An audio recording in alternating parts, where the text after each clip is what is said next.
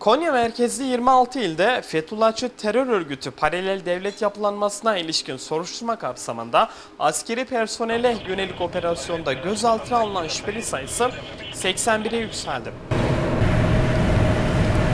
FETÖ, PDY mensuplarına ilişkin Konya merkezli 26 ilde örgütle bağlantılı olduğu öne sürülen 84 kişinin yakalanmasına yönelik çalışmalar devam ediyor.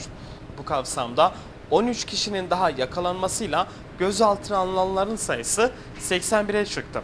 Emniyetteki işlemleri tamamlandıktan sonra adliyeye sevk edilen şüphelilerden 15'i tutuklandı. 66'sı adli kontrol şartıyla serbest kaldı.